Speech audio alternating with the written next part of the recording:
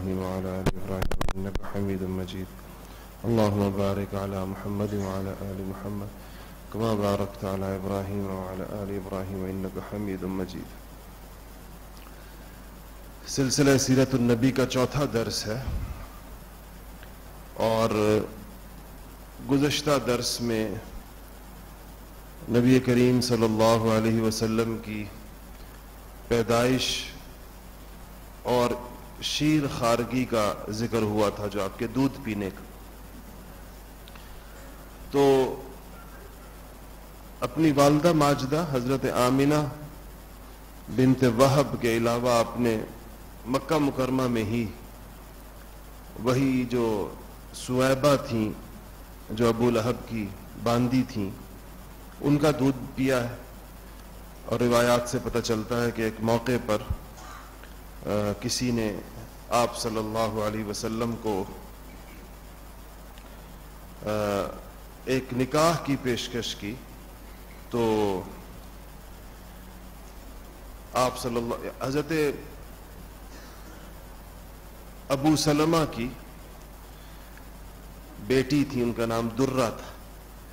یہ ابو سلمہ، حضرت ام سلمہ کے شوہر ہیں۔ اور ام سلمہ بعد میں نبی کریم صلی اللہ علیہ وسلم کے نکاح میں آئیں۔ تو کسی نے حضور اکرم صلی اللہ علیہ وسلم سے پوچھا کہ یا رسول اللہ، ہم نے سنا ہے کہ آپ درہ سے نکاح فرما رہے ہیں۔ تو رسول اللہ صلی اللہ علیہ وسلم نے فرمایا کہ اول تو درہ میری ربیبہ ہے۔ ربیبہ کہتے ہیں کہ بیوی کے ساتھ اس کے پہلے شوہر سے جو اولاد آتی ہے، اس کو ربیب، لڑکا ہو تو ربیب اور لڑکی ہو تو ربیبہ کہتے ہیں۔ تو چونکہ ام سلمہ کے ساتھ آئی تھیں وہ ابو سلمہ کے انتقال کے بعد، حضور کے نکاح میں جو ام سلمہ آئیں۔ دوسرا، آپ نے فرمایا کہ وہ میری رضائی بھتیجی ہے، درہ۔ اس لیے کہ اس کے باپ ابو سلمہ نے اور میں نے، ہم دونوں نے سویبہ کا دودھ پیا۔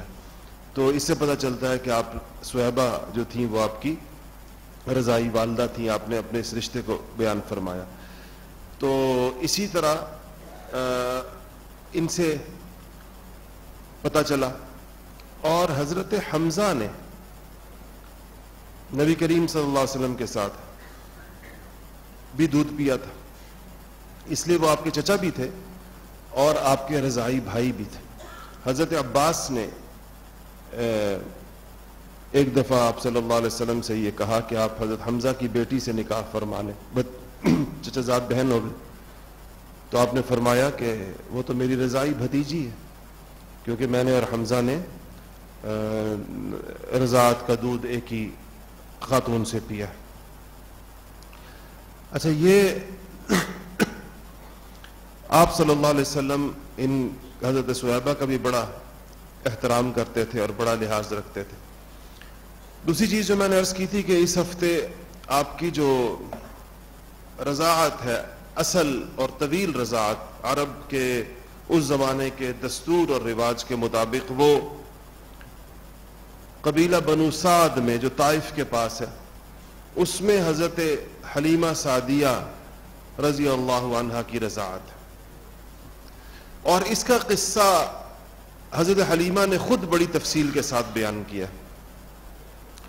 حضرت حلیمہ بعد میں مسلمان بھی ہوئیں اور ان کی قبر ان چند قبروں میں سے ہے جو اس وقت جنت البقی میں، جو چند نشان باقی ہیں قبروں کے اور ان میں سے کچھ کے نام جو معلوم ہیں، ان قبروں میں سے قبر حضرت حلیمہ سعدیہ رضی اللہ عنہ کی بھی ہے۔ تو یہ طائف کے پاس ان کا قبیلہ رہتا تھا اور یہ کہتی ہیں کہ ہم عورتیں سال میں دو دفعہ مکہ آتی تھی۔ اور ظاہر ہے کہ وہ عورتیں آتی تھیں جن کی اپنی گودوں میں بچے ہوتے تھے۔ کیونکہ بچے کو دودھ پلانا ہوتا تھا، دودھ جس خاتون کا دودھ ہو تو وہی رضاعت کے لیے بچہ لے کے جا سکتی ہے۔ تو جس خاتون کا بچہ ہو اور دودھ پینے کی عمر میں ہو تو وہ آتی تھی اور مکہ مکرمہ کے لوگ اپنے بچے ان کے حوالے کرتے تھے۔ ایک معقول معاوضے کے اوپر اور یہ ان کا ایک ذریعہ آمدن تھا ان خواتین کا تو اپنے بچے کے ساتھ، اس بچے کو بھی دودھ پلاتی تھی جس کو لے کر آتی تھی۔ اور جب دودھ چھڑانے کی عمر ہو جاتی تھی تو اس کے بعد بچہ واپس دے جاتی تھی۔ تو یہ بھی آئیں۔ کہنے لگی کہ جس سال ہم آ رہے تھے مکہ مکرمہ، تو وہ سال ہم لوگوں کے لیے، طائف والوں کے لیے بڑا سخت سال تھا۔ کتابوں میں سیرت کی کتابوں میں لکھا ہے کہ مکہ کے اندر بھی آپ صلی اللہ علیہ وسلم کی پیدائش سے پچھلا سال جو تھا وہ بڑی سخت غربت اور قحط سالی کا سال تھا اور آپ کی تشریف آوری کی برکت سے اگلا سال بڑی فراخی اور اور ہریالی کا سال آیا۔ تو کہتی ہیں کہ ہمارے ہاں چونکہ گزر بسر زیادہ جانوروں پر تھی اور جب خشک سالی ہوتی تو بارش جب نہ ہوتی تو میدان سوکھ جاتے، چراگاہیں نہ رہتی۔ جب چراگاہیں نہ رہتی تو جانور دبلے ہو جاتے۔ تو کہنے لگی، ہمارے، میرے پاس ایک اونٹنی تھی اور خوراک نہ ملنے کی وجہ سے، سبزہ نہ ملنے کی وجہ سے وہ انتہائی دبلی اور اس کے تھن بالکل خشک اور میرے شوہر بہت کوشش بھی کرتے تو اس میں سے نہ ہونے کے برابر دودھ نکلتا۔ اور ایک میرے پاس سواری تھی اور اس پہ وہ ہم کہیں آنا جانا ہوتا تھا، اس کا بھی یہ حال تھا کہ ہڈیاں نکلی ہوئی تھیں اور چلنا اس کے لیے دشوار تھا۔ لیکن یہی دو چیزیں اور اپنے شوہر حارث نام تھا ان کے شوہر کا، بن عبد العزا یہ بھی مسلمان ہوئے بعد میں۔ ان کو لے کر کہتی ہیں کہ میں اپنے اور اس بچے کو جس کو دودھ پلا رہی تھی، ہم لوگ مکہ مکرمہ کی طرف چلے۔ اور عورتیں بھی میرے ساتھ تھی بعض روایات میں لکھا ہے کہ دس عورتیں تھیں تقریباً۔ اچھا یہ اپنا کوئی خیمہ ویمہ بھی ساتھ لے کر آتے تھے؟ کیونکہ انہوں نے مکہ سے باہر پھر اپنا ایک چھوٹا سا جس طرح خانہ بدوشوں کی خیمہ بستی ہوتی ہے، وہ لگا لیا کرتے تھے۔ اور پھر یہ عورتیں مکہ میں پھیل جاتی تھیں اور ہر گھر میں پتہ چل جاتا تھا، آتے ہی کس کس گھر میں بچہ پیدا ہوا ہے۔ تو اس گھر سے جا کر بچے کو ماں باپ کے ساتھ اس کی بات کیا کرتی تھی۔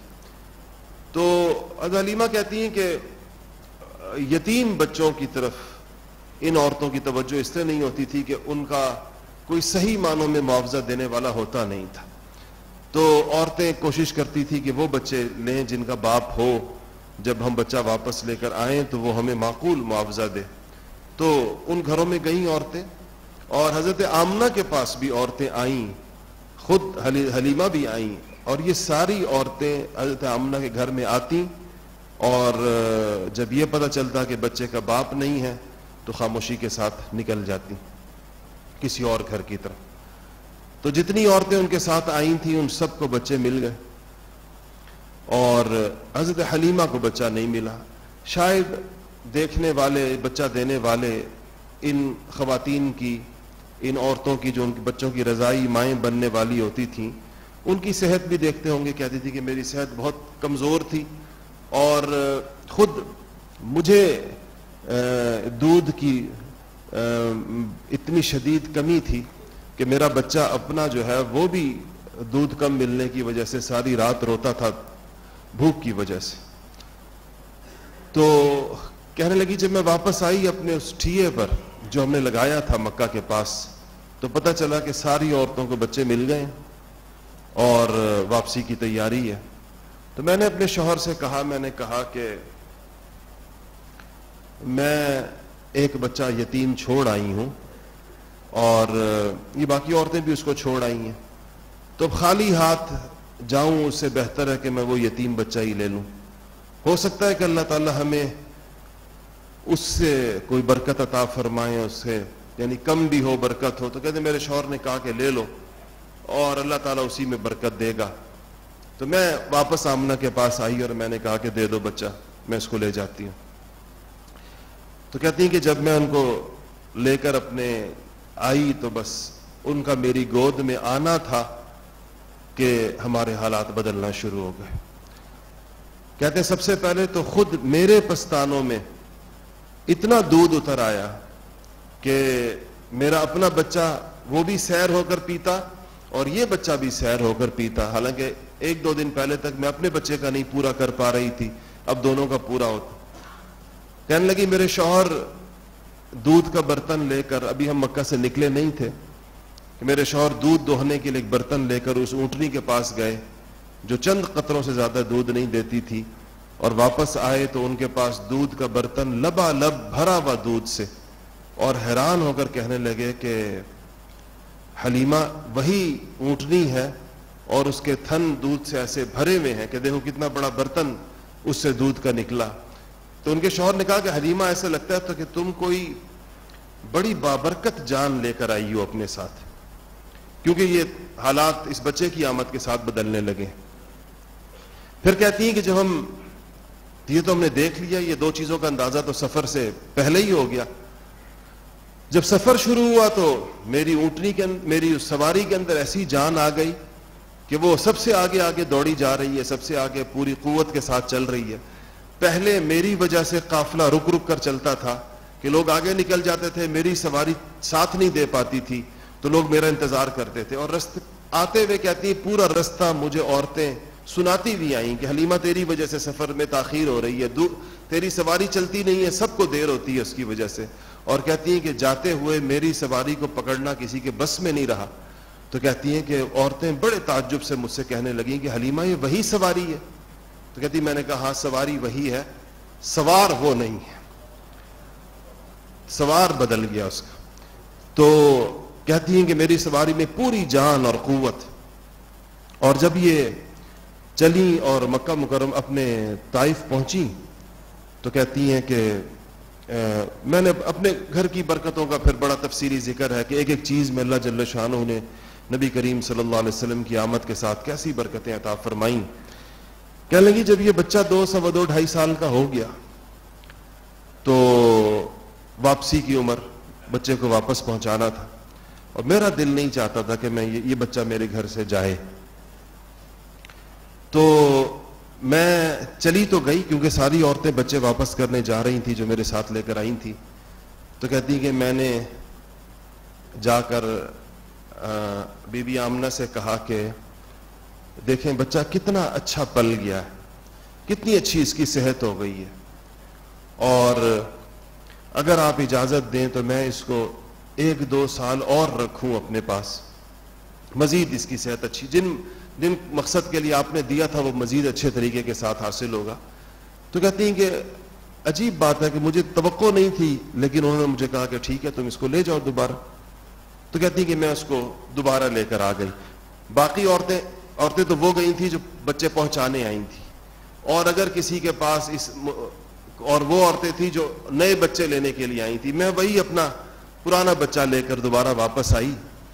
تو کہتی ہیں کہ آ تو گئی لیکن اس کے بعد ایک ایسا واقعہ پیش آیا جس سے حضرت حلیمہ ڈر گئی اور وہ واقعہ تھا شق صدر کا۔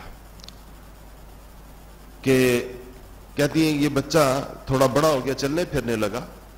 تو مجھ سے کہنے لگا کہ میں ان بچوں کے ساتھ، حضرت حلیمہ کے بچوں کے ساتھ جو بکریاں چرانے کے لیے جاتے ہیں، میں بھی ان کے ساتھ جاؤں گا۔ تو کہتی، میں میں نے اجازت دے دی، جایا کرتے تھے ان کے ساتھ۔ یہ عمر کتنی تھی؟ اس میں اختلاف ہے۔ بعض بیشتر مفسرین کا خیال ہے کہ یہ عمر چار سال کے لگ بھگ کی تھی۔ تو کہنے لگی کہ ایک دن یہ اسی طرح نکلے ہوئے تھے۔ اور اچانک میرا بیٹا، جو ان کے اس عمر کا تھا، وہ گھر کے اندر داخل ہوا یا آس پاس کی عمر کا تھا۔ اور اس نے کہا کہ مجھے آواز دی کہ اما محمد تو کسی نے قتل کر دیا۔ کہتی، میں اور میرے شوہر انتہائی حیبت کے اندر بھاگتے ہوئے باہر گئے۔ تو ہم نے دیکھا کہ آپ ٹھیک ٹھاک تھے، لیکن آپ کے چہرے کے اوپر خوف کے آثار تھے۔ تو ہم نے پوچھا کہ کیا ہوا؟ تو اس ہمارے بیٹے نے آ کر یہ بتایا کہ دو سفید کپڑوں والے بندے آئے اچانک کہیں سے اور یہ ہمارے ساتھ تھے، انہوں نے ہم سے ان کو لے لیا اور لے جا کر لٹا دیا اور ہمارے سامنے ان کا سینہ چاک کر دیا۔ یہ اتنا منظر بچے نے دیکھا اور اتنا منظر دیکھ کر وہ گھر کی طرف بھاگا۔ تو کہتی ہم جب گئے تو وہ ٹھیک تھے۔ تو ہم نے پوچھا کہ کیا ہوا؟ تو آپ نے کہا کہ دو بندے آئے تھے اور انہوں نے میرا سینہ چاک کیا اور اس میں سے دل نکالا اور ایک پانی کا تشت ساتھ لے کر آئے تھے، اس کے اندر دل کو دھویا اور اس کے بعد دوبارہ دل کو جو ہے اپنی جگہ پر رکھ کر جب اس کے اوپر سینے پر یوں ہاتھ پھرا تو وہ سل گیا سینہ۔ اور یہ بعد میں رسول اللہ صلی اللہ علیہ وسلم نے فرمایا کہ جبرائیل اور میکائل تھے، دو فرشتے اللہ کی طرف سے آئے تھے۔ یہ جو شق صدر کہلاتا ہے، یہ آپ صلی اللہ علیہ وسلم کے معجزات میں سے ہے اور صحیح احادیث سے ثابت ہے۔ اور یہ ایک دفعہ نہیں، یہ چار دفعہ ہوا رسول اللہ صلی اللہ علیہ وسلم کے ساتھ۔ اور چاروں دفعہ کے بارے میں روایات ہیں کہ پہلی دفعہ تو یہ ہے کہ جب آپ یہاں پر حضرت حلیمہ سعدیہ کے گھر کے اندر تھے۔ اور دوسرا یعنی اس وقت آپ کی عمر تقریباً چار سال ہے۔ اور دوسری دفعہ جو آپ کو ہوا ہے شق صدر تو اس وقت آپ کی عمر تقریباً دس سال کی تھی۔ اچھا، بعض سیرت نگار پانچ دفعہ کا شق صدر کا ذکر کرتے ہیں اور وہ کہتے ہیں کہ ایک دفعہ آپ کو شق صدر بیس سال کی عمر میں بھی ہوا ہے لیکن اس پانچویں دفعہ کے شق صدر کی جو حدیث کی روایات ہیں اس پر محدثین کو اس کی سند کے اوپر اعتراض ہے اور وہ اس میں کوئی بہت مضبوط سند نہیں سمجھتے۔ پانچویں دفعہ والے کو، یہ جو بیس سال والی عمر کا ہے۔ لیکن یہ چار جو ہیں، ایک چار سال کی عمر کا اور دوسرا جو ہے، یہ دس سال کی عمر کا۔ اور تیسرا جب آپ کو نبوت ملی، چالیس سال کی عمر کے اندر، نبوت کے زمانے کے اندر۔ اور چوتھا جب آپ معراج کے اوپر تشریف لے جانے لگے تو اس سے پہلے یعنی تقریباً پچاس سال کی عمر کے وقت کے اندر۔ تو یہ چار دفعہ کا جو شق صدر ہے، یہ تو روایات صحیحہ اور احادیث معتبرہ سے یہ ثابت ہے۔ اس میں حکمت کیا تھی؟ کیونکہ جبرائیل نے جب آپ ایک ایک لوتھڑا بھی گوشت کا نکال کر آپ کے قلب مبارک سے جدا کیا اور کہا کہ یہ شیطان کا حصہ تھا جو نکال دیا گیا آپ کے اندر سے، تو، اور پھر اس کے بعد اس کو جن، جنت کے پانی سے دھونا یا بعض روایات میں زمزم سے دھونا، مختلف دونوں چیزوں کا۔ اس میں حکمت کیا تھی؟ اس میں اللہ تعالیٰ کی طرف سے اشارہ کس چیز کا تھا؟ اس پر ظاہر بات ہے کہ ہمارے پاس اس کی کوئی وہ تفصیلات تو نہیں۔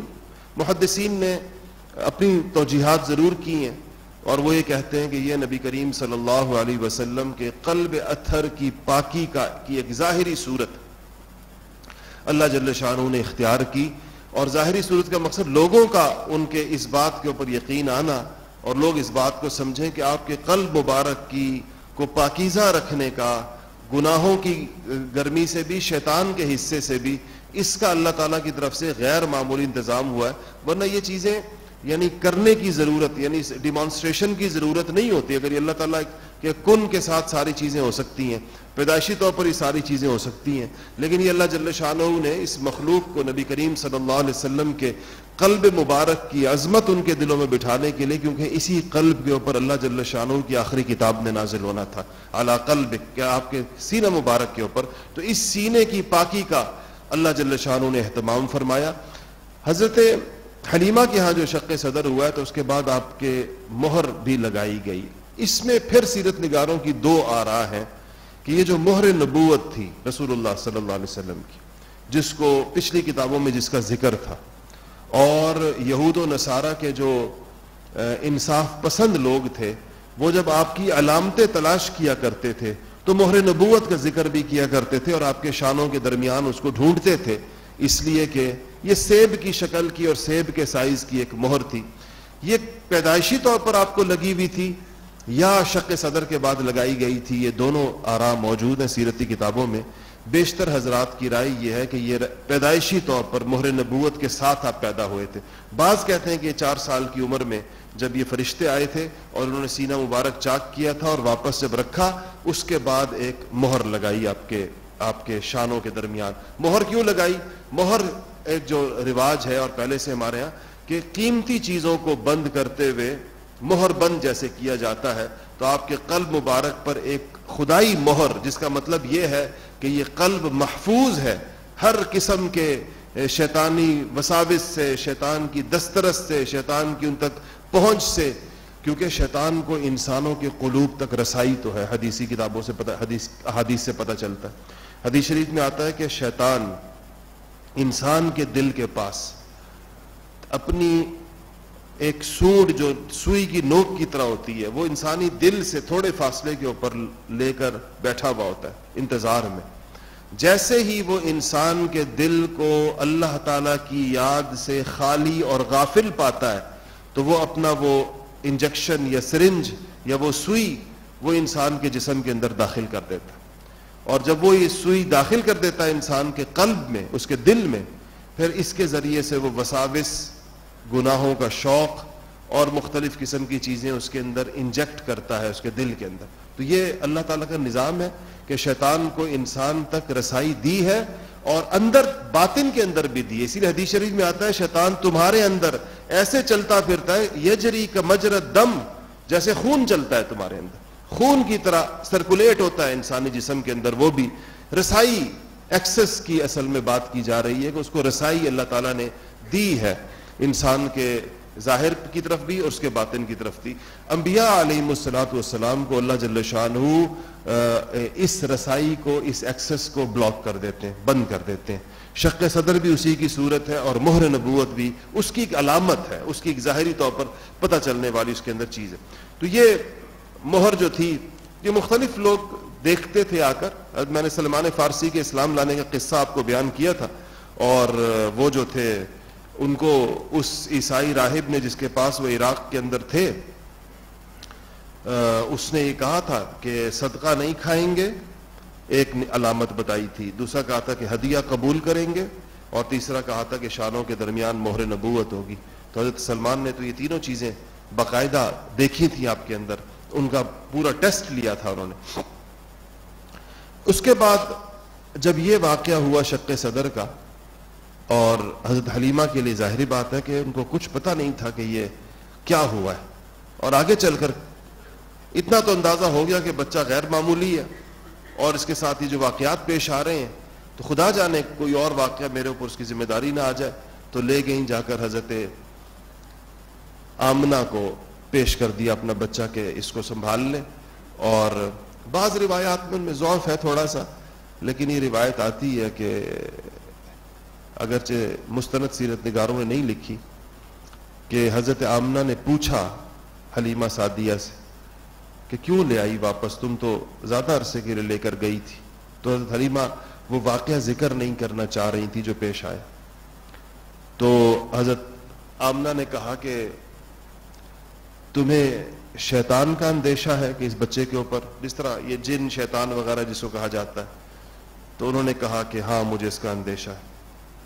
تو حضرت آمنہ نے کہا کہ اس بچے پر میں نے اس کے حمل سے لے کر اس کی پیدائش تک جن تجربات سے اور جن کیفیات سے میں گزری ہوں، تو میں خدا کی قسم کھاتی ہوں کہ اس بچے تک شیطان کی دسترس نہیں، شیطان اس تک نہیں جا سکتا۔ میں نے جو چیز جو جو مناظر میں نے دیکھے ہیں اس کے اس کے اپنے پیٹ میں آنے سے لے کر اس کو جننے تک میں نے جو کچھ دیکھا ہے، اس بچے کو شیطان ہاتھ نہیں لگا سکتا اور اس کی طرف نہیں جا سکتا۔ تو خیر، یہ واپسی ہو گئی اور آپ چار سال کی عمر میں بظاہر واپس آئے ہیں مکہ مکرمہ۔ چھ سال آپ کی عمر مبارک ہوئی تو ایک دن آپ کی والدہ ماجدہ حضرت آمینہ کو یہ شوق ہوا کہ اپنے شوہر حضرت عبداللہ کی قبر کے لیے قبر پر جاؤں۔ اور وہ میں نے آپ کو بتایا تھا کہ مدینہ منورہ میں تھی۔ یہ سرب کہلاتا تھا اس زمانے میں۔ تو وہ اور وہی جو آپ کی جو حضرت عبداللہ کی باندی تھی برکہ جس کا نام تھا، جن کا بعد میں نام ام ایمن بن۔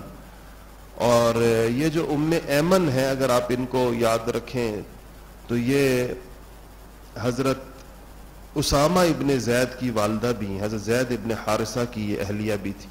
نبی کریم ان کا جو پہلے شوہر جن سے ان کا نکاح ہوا، جن سے ایمن پیدا ہوا اور اس کا نام، اس سے ان کا نام ام ایمن ہوا، جب اس شوہر کا انتقال ہوا تو رسول اللہ صلی اللہ علیہ وسلم نے فرمایا کہ جو شخص یہ چاہے کہ کسی جنتی عورت سے نکاح کرے تو وہ ام امن سے نکاح کر لے۔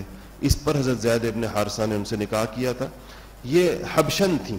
یعنی وہ جو کالی کالے افریقی جیسے ہوتے، اس طرح تھی۔ اور ان کے پہلے شوہر بھی کالے تھے، حبشی تھے۔ تو حضرت زید تو ادھر کے تھے۔ تو انہوں نے پھر نکاح کیا اور ان سے حضرت اسامہ ابن زید پیدا ہوئے، جو نبی کریم صلی اللہ علیہ وسلم کے انتہائی محبوب، جن کو حب النبی کہتے ہیں، نبی کے محبوب۔ صحابہ کہتے ہیں کہ ہم دیکھتے تھے کہ ایک گھٹنے پر آپ کے حسن اور حسین میں سے کوئی بیٹھا ہوتا تھا اور دوسرے گھٹنے پر اسامہ ابن زید بیٹھے ہوتے تھے۔ تو یہ ان کی والدہ بھی اور یہ کافی عرصہ زندہ رہیں اس کے بعد، کیونکہ آپ صلی اللہ علیہ وسلم کی وفات پر حضرات صحابہ ان کے پاس آئے تعزیت کے لیے، کیونکہ یہ ایک طرح سے آپ کو پالا پوسا تھا انہوں نے، ماں کسی حیثیت تھی حلیمہ کی طرح کی۔ تو یہ ام امن ساتھ تھی اور عبد المطلب بھی ساتھ گئے، دادا۔ وہ بھی ساتھ گئے بیٹے کی قبر کے لیے، بہو کے ساتھ اور بچے کے ساتھ۔ تو مدینہ میں ایک مہینہ رہی حضرت آمنہ۔ اور وہاں سے جب وہ واپس آ رہی تھیں، تو مدینہ منورہ سے آگے آ کر ابوا ایک جگہ ہے، مکہ کے رستے کے اندر، مدینہ کے قریب ہے۔ اور وہاں پر وہ بیمار ہوئیں اور ان کا وہیں پر انتقال ہو گیا۔ آج بھی ان کی قبر وہیں ابوا کے اندر ہے۔ اور وہیں ان کی تدفین وہیں پر ہوئی۔ اور حضور اکرم صلی اللہ علیہ وسلم کو چھ سال کی عمر میں یعنی والدہ کا کبھی انتقال ہوا اور پھر دادا اور ام ایمن آپ کو لے کر واپس آ گئے۔ اب آپ صلی اللہ علیہ وسلم مکمل طور پہ دادا کے سپرد ہو گئے۔ والدہ بھی نہیں رہی تب عبد المطلب۔ اور حضرت عبد المطلب کا معاملہ حالانکہ بڑے کثیر العیال تھے، دس بیٹے تھے اور چھ بیٹیاں تھیں اور سب کی اولادیں تھیں اور بہت بہت اولادیں تھیں۔ تو ایسے بہت سارے پوتے نواسے تھے ان کے، لیکن ان کو جو خصوصی تعلق اور محبت رسول اللہ صلی اللہ علیہ وسلم کے ساتھ تھی، وہ بڑی عجیب تھی۔ خانہ کعبہ کی مطاف میں، خانہ کعبہ کی اوٹ سے یعنی بالکل اس کی دیوار کے ساتھ عبد المطلب کے لیے جگہ بنائی، بناتے تھے بیٹے، چونکہ سردار تھے ایک طرح سے پورے قبیلے کے۔ تو وہاں بیٹھا کرتے تھے ان کے لیے ایک چادر بچھائی جاتی تھی اور ایک اعزاز کے ساتھ تکیہ لگایا جاتا تھا اور احترامن اس چادر کے اوپر کوئی اور نہیں بیٹھتا تھا، نہ بیٹوں میں سے، نہ بتیجوں میں سے۔ اور وہ اکیلے بیٹھتے تھے، باقی لوگ ان کے گرد ہلکا لگا کر بیٹھتے تھے۔ تو آپ صلی اللہ علیہ وسلم چھوٹے تھے، چھ سات سال آپ کی عمر، زیادہ زیادہ آٹھ سال، کیونکہ آپ کی عمر آٹھ سال ہوئی تو عبد المطلب کا بھی انتقال ہو گیا۔ تو وہ چلتے ہوئے جب آتے تھے تو سیدھا دادے کے ساتھ اس چادر کے اوپر جا کر بیٹھتے تھے۔ تو بعض اوقات جو چاروں طرف چچا بیٹھے ہوتے تھے یا چچا زاد بھائی بیٹھے ہوتے تھے، بڑے جو عمروں میں بڑے تھے یا اور لوگ، تو وہ کچھ بچے کو جس طرح اتارا جاتا ہے کیونکہ کوئی اور بچہ تو نہیں جاتا تھا۔ تو یہ عبد المطلب منع کیا کرتے تھے، کہتے تھے کہ اس کو کچھ نہ کر، اس کو میرے ساتھ بیٹھنے دیا کرو۔ اور بڑی، بڑا انہوں نے آپ کا خیال رکھا۔ دو سال آپ حضرت عبد المطلب کی گود میں رہے۔ چھ سال کی عمر میں والدہ کا انتقال ہوا اور دو سال آپ حضرت عبد المطلب کی گود میں رہے اور جب آٹھ سال ان کی عمر ہوئی تو حضرت عبد المطلب کا بھی انتقال ہو گیا۔ اور ان کے انتقال کے بعد اپنے بہت سارے چچاؤں میں سے، چونکہ سب سے زیادہ سمجھدار اور والد کے بعد ان کے ایک طرح سے جانشین مکہ میں وہ ابو طالب تھے، تو ابو طالب کی گود میں آپ آ گئے اور ابو طالب نے بھی پھر یعنی آٹھ سال کی عمر میں جو نبی کریم صلی اللہ علیہ وسلم کو وصول کیا اور اپنی گود میں رکھا، اس کے بعد سے لے کر وہ اپنی وفات کے دن تک آپ کی پشت کے اوپر کھڑے رہے۔ اور ان کے لیے شروع میں تو کوئی مسئلہ نہیں تھا، بڑا نیک نام بھتیجا تھا، پورا مکہ عزت کرتا تھا اور صادق اور امین کہتا تھا، لیکن ان کو بڑھاپے کے اندر ان کی آزمائشیں اس وقت شروع ہوئیں جب بھتیجے نے نبوت کا اعلان کیا۔ اور وہ وہ زمانہ تقریباً دس برس کا زمانہ اس کے بعد ان کا گزرا ہے۔ آخری بات اس درس کی کر کے آج کی بات کو، اور وہ یہ ہے کہ دس برس کی عمر، آٹھ برس کی عمر میں آپ آ گئے ابو طالب کے پاس۔ اور ابو طالب کے اپنے چار بیٹے تھے، جن میں سب سے بڑے طالب تھے، یہ جن کے نام سے یہ، ان کی کنیت۔ ہے اور یہ تو مسلمان نہیں ہو سکے، ان کا کوئی زیادہ تاریخ میں ذکر بھی نہیں آتا، طالب کا کہ کون تھے، کیا عمر رہی، ان کی کیا ہوا، ان کے اسلام کا بھی ذکر نہیں آتا۔ لیکن باقی تین بیٹے تاریخ اسلام کی نامور ترین شخصیات حضرت سیدنا جعفر طیار اور حضرت عقیل اور حضرت علی مرتضی شیر خدا۔ یہ تین بیٹے حضرت ابو طالب کے اپنے تھے، چوتھا طالب بھی تھے۔ بارہ برس کے لگ بھگ آپ کی عمر ہوگی نبی کریم صلی اللہ علیہ وسلم کی، جس میں اب اس عمر کے بچے کو اپنے ساتھ جو عربوں کی عادت تھی، اب کاموں کا تعلیم کا یہ طور تو نہیں تھا جو ہمارے یہاں، تو کاموں کے کا سکھانا۔ اور اس سے پہلے آپ بکریاں چرا چکے تھے مکم کرما میں۔ آپ نے ایک دفعہ کہا کہ اللہ کا کوئی نبی ایسا نہیں گزرا، صحابہ سے کہا کہ اللہ کا کوئی نبی ایسا نہیں گزرا جس نے بکریاں نہ چرائی ہوں۔ تو صحابہ نے پوچھا کہ یا رسول اللہ، آپ نے بھی چرائی آپ نے کہا ہاں، میں نے بھی چرائی بکریاں۔ تو آپ نے بکریاں چرائیں یہ جو بچوں کو کی ٹریننگ ہوتی تھی، یہ اس کا حصہ ہوتا تھا۔ اس کے بعد دوسری چیز جو تھی، وہ تجارت تھی۔ تو جا رہے تھے ابو طالب شام، اپنی جو میں نے آپ کو پہلے بتایا کہ سال میں دو اسفار یہ کرتے تھے، ایک یمن کا اور ایک شام کا، جس کو قرآن نے رحلت الشتاء و سعیف کہا ہے، گرمی اور سردی کا سفر۔ تو ان کو بھی ساتھ لے گئے، نبی کریم صلی اللہ علیہ وسلم کو بھی۔ جب آپ روانہ ہوئے تو ایک شہر آتا ہے شام سے پہلے، اس کا نام بسرا ہے۔ یہ بسرا نہیں ہے جو عراق کا بسرا ہے۔ تو وہاں یہ تو راستہ تھا قریش کے جانے کا، وہاں پر ایک راہب رہتا تھا، جس کا نام تو جرجیز تھا، لیکن اس کو بحیرہ کہتے تھے۔ اور یہ راہب بہت زیادہ پکا راہب تھا۔ اس کے بارے میں مشہور یہ تھا کہ اس کی عمر بہت زیادہ، عمر کا تذکرہ آتا ہے۔ دوسرا یہ کہ اپنے کلیسا سے کبھی باہر نہیں نکلتا تھا۔ راہبوں کا یہی کام ہوتا تھا، وہ تو بالکل بند دنیا سے تعلق نہیں رکھتے تھے۔ سوشلائزیشن نہیں ہوتی تھی کسی قسم کی بھی۔ تو یہ اسی اسی کے جرگے جو گرجا تھا، اس گرجے کے پاس کوئی پڑاؤ کی جگہ تھی جہاں یہ قافلے رکا کرتے تھے۔ اور ان کو پتا تھا کہ یہ ایک گرجا ہے اور اس میں ایک راہب رہتا ہے۔ لیکن وہ باہر نہیں آتا اور ظاہر ہے کہ مشرقین مکہ تو کوئی عیسائی تو تھے نہیں کہ اندر جاتے، تو وہ بس اتنی معلومات ان کو تھی۔ تو یہ جب گئے، ابو طالب لے کر گئے اور اسی جگہ پر آپ پہنچے، اس پڑاؤ کے اوپر جہاں سامنے بحیرہ کا معبد تھا، تو ایک عجیب واقعہ قریش نے پہلی دفعہ دیکھا کہ جرجیس یا بحیرہ باہر نکل آیا۔ باہر نکل آیا اور اس نے کسی کو تلاش کرتے کرتے کرتے کرتے سیدھا حضور اکرم صلی اللہ علیہ وسلم کے پاس آ اور اس نے آ کر قافلے والوں سے پوچھا کہ اس بچے کا ولی کون؟ لوگ کہتے ہیں کہ اس نے یہ نہیں پوچھا کہ بچے کا باپ کون ہے۔ ولی کون ہے اس نے کہا۔ اور باپ اس نے نہیں پوچھا کہ کتابوں میں لکھا تھا کہ بچہ یتیم ہوگا۔ پچھلی کتابوں میں۔ ایک اور قصہ بعض حضرات نے سیرت کتابوں میں لکھا ہے، لیکن چونکہ اس کے استناد کے اوپر بھی محدثین و کلام ہے تو میں نے آپ کو بیان نہیں کیا۔ وہ کہتے ہیں کہ حلیمہ سعدیہ کے ہاں ایک یہودی نے آپ کو پہچان لیا، آپ کی علامات سے، اور اس نے حلیمہ سے کہا کہ یہ کس کا بچہ ہے؟ تو حلیمہ نے کہا کہ ڈر گئی اس کے تیور دیکھ کر، انہوں نے کہا کہ یہ میرا بچہ ہے، اور اپنے شوہر کی طرف اشارہ کیا کہ یہ اس کے باپ ہیں۔ تو اس کو ایسے مشکوک سے انداز کے اندر وہ چلا گیا اور کہنے لگا کہ اگر یہ یتیم ہوتا تو یہ نبی آخر الزما تھا۔ اور لیکن چونکہ یہ ماں باپ موجود ہے تو یہ نبی نے اگر اس کے ماں باپ نہ ہوتے تو یہ نبی آخری نبی یہ بچہ تھا۔ اور وہ روایت بھی آتا ہے کہ قتل کا ارادہ تھا ان کے یہودیوں کے، چونکہ وہ اس پر تھے، لیکن اس وجہ سے اس کو دھوکہ ہو گیا کہ بچے کے تو ماں باپ ہے تو مجھے کوئی غلط غلط فہمی ہو گئی۔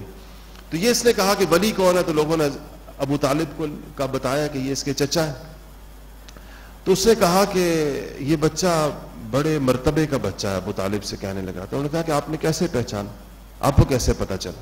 تو کہا جب تم لوگ اس اونچائی سے نیچے اتر رہے تھے پہاڑ سے، اس طرف آتے ہوئے، تو یہ کہیں اپنے گرجے کی کھڑکی کے اندر بیٹھا ہوا تھا۔ تو کہتا ہے، میں نے دیکھا کہ تمام پتھر، شجر و حجر سارے اس بچے کو سجدہ کر رہے اس منظر کو دیکھ کر مجھے یقین ہو گیا کہ یہ وہی آخری نبی ہے، وقت ویسے بھی یہی ہے۔ اور اس کی پیدائش کی جگہ بھی۔ پتا اس نے سارے قوائف وہی تھے کہ وہ مکہ مکرمہ کی پیدائش، قافلہ بھی وہیں کا ہے، زمانہ بھی وہی ہے۔ تو اس کے بعد اس نے ابو طالب سے کہا، ایک تو اس نے ضیافت کی، دعوت کی، بڑی پورے قافلے کو کھانا کھلایا اکرام کے اندر۔ اور کہنے لگے، ابو طالب سے کہا کہ میں آپ سے گزارش یہ کرتا ہوں، اس بچے کو شام نہ لے کر جائیں اپنے ساتھ۔ یہودیوں کو اگر پتہ چل گیا کہ یہ بچہ اولاد اسماعیل میں پیدا ہو گیا ہے اور وہ انتظار کر رہے ہیں آخری نبی کا اور اس گمان کے اندر ہیں کہ وہ بنی اسرائیل کے اندر پیدا ہوگا، تو اگر ان کو پتہ چلا کہ یہ بنی اسماعیل میں پیدا ہوا ہے تو وہ اس بچے کو قتل کر دیں گے۔ حسد اور بغض کی وجہ سے۔ اس لیے آپ اس کو نہ لے کر جائیں۔ بحیرہ کی اس بات کے اوپر حضرت ابو طالب نے نبی کریم صلی اللہ علیہ وسلم کو اپنے غلاموں اور محافظوں کے ساتھ اس جگہ سے واپس مکہ مکرمہ بھیج دیا۔ انشاءاللہ اس سے آگے اگلے جمعے کے اندر ہوگا۔